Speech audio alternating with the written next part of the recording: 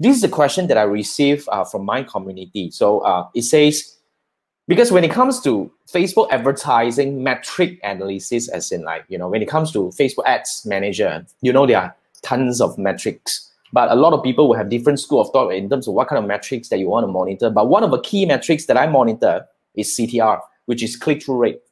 So basically, we have two sets of two types of CTR, fundamentally, two types. One is CTR all. All means, you know, because when it comes to Facebook advertising, there are many things that you can click, right? So you can click on the, the, the like button, you can click on the image, you can click on the video, you can click on comment, you know, there are many things to click. So your CTR all means your advertisement is getting actions. Now the other CTR is CTR link click through, which is fundamentally on the call to action. So my indicator of uh, you know at least a stable campaign is your CTR all should be at least above two, meaning that at least you know it's kind of like at, at least people are interested in playing the video or whatnot, right? and your CTR link click through, my benchmark is 1%. So if you have relatively lower both CTR, then that could be an early indicator that your advertisement itself, your creative is not getting interest among the audience. So you see, like I say, there are three main pillars that makes a good Facebook ads, right? So it has to be able to send the right message to the right people to get the right action. So the right people, I will, I will assume that you really know who are the people that you need to target in order to get the right people into the funnel because I assume that you have been doing your, your business for a while. So this is a no question. And I assume that you understand how to choose the right objective.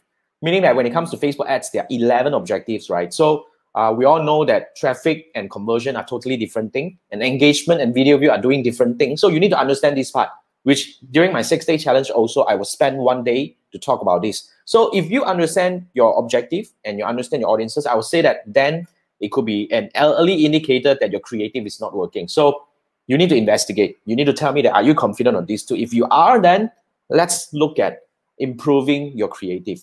When we are doing improvisation or optimization of a campaign, we optimize one variable at a time. Usually we don't do like, you know, I change the creative at the same time I change the audience because that would not be able to giving you to give you the, the, the hypothesis whether is that the fact right factor that is affecting the effectiveness of the campaign. That's why, yeah. So, but thanks for the question. For this, I would say, first thing, investigate if your audience targeting and your objective is the correct one. Is this the optimize the right action that you should be targeting and the right people that you should be targeting? Then, if everything is good, then we start investigating from the creative, which we will tweak or we will, you know, just use another one to test.